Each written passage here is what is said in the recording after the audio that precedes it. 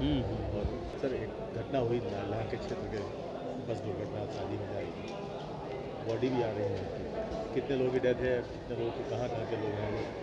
किस तरह से अंत्येष्टि यहाँ पे पूरा प्रशासन ने व्यवस्था करी है? नहीं देखिए बहुत ही दुखद घटना है और लालढांग से एक बारात जो कि पौड़ी जा रही थी एक शादी का फ़ंक्शन था तो उसमें रास्ते में एक्सीडेंट हुआ था जिसमें कि टोटल 32 लोगों की डेथ हुई है जिसमें से कि 21 लोग जनपद हरिद्वार के हैं, जो आइडेंटिफाई हुए हैं। लालडांग से हैं गाजीवाड़ी से हैं और रसूलपुर मिट्टीवेरी से हैं।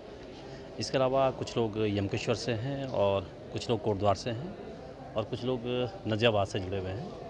तो सभी का पीएम पौड़ी में किया गया है और उसके बाद लोगों से रिक्वेस्ट किया गया था कि अगर लोग बॉडी यहाँ लेके आते हैं हरिद्वार में तो यहाँ पे प्रशासन द्वारा लकड़ी इत्यादि की व्यवस्था की गई थी।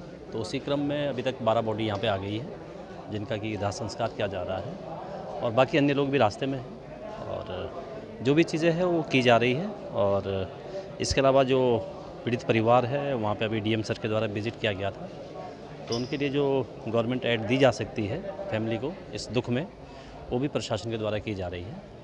और बाकी सभी स्थानीय लोग हैं मीडिया से जुड़े लोग हैं हम लोग हैं सभी लोग इनके साथ में हैं और क्योंकि बड़ी दुखद घटना है तो जो भी संभव होगा वो पूरी हेल्प की जाएगी। तो कई कई परिवार ऐसे हैं जिनके परिवार में कोई नहीं बचा कमाने वाला नहीं है।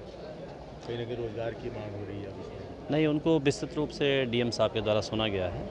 कुछ लोग ऐसे भी हैं जिनको अस्थायी रूप से नौकरी में भी सेवायोजित करने की कोशिश की जाएगी जैसे पीआरडी इत्यादि में है। और कुछ लोग आंगनबाड़ी में हैं और इसके अलावा ना जो गवर्नमेंट की जो भी स्कीम्स है, जो छोटे बच्चे हैं, उनके लिए एजुकेशन संबंधी रिलेटेड है और बाकी जो पेंशन है, पारिवारिक लाभ योजना है तो जो भी चीज़ें हैं एज़ पर लॉ किया जाएगा।